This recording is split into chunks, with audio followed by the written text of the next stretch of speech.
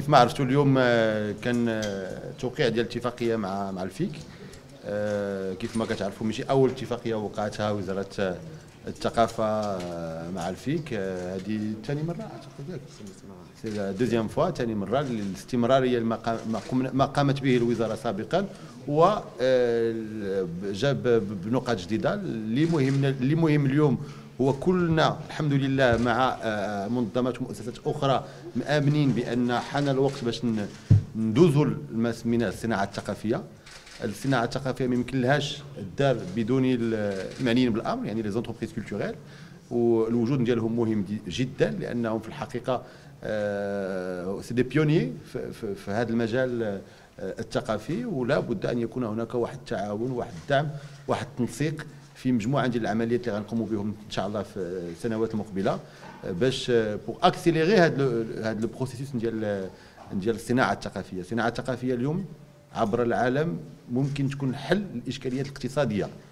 ونعتز ونعتبر بأن في المغرب آه، هذه الصناعة الثقافية ممكن لها تخلق مجموعة فرص شغل آه، يمكن لها تخلق- مجالات جديدة لمجموعة ديال الشباب والشابات آه، وميادين اقتصادية جديدة.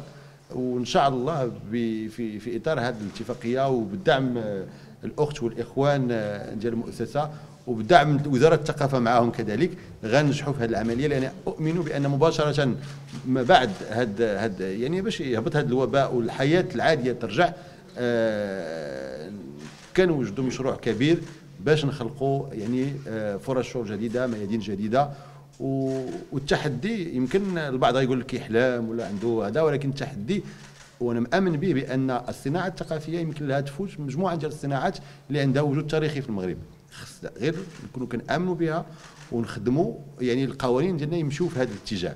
وهذا الشيء اللي غنخدموا إن شاء الله هذا الشيء اللي غنديروا يعني مش بهذه الشراكة مع مجموعة ديال القطاعات الأخرى اللي عندهم دور كبير في هذا المجال وشكرا لكم. شكرا شكرا سيد الوزير. كما جاء على تصريح سيد الوزير آه، قطاع الصناعة الثقافية والإبداعية عنده جميع الإمكانيات والكفاءات والمواهب باش ينجح كما نجحنا في المغرب في قطاعات أخرى.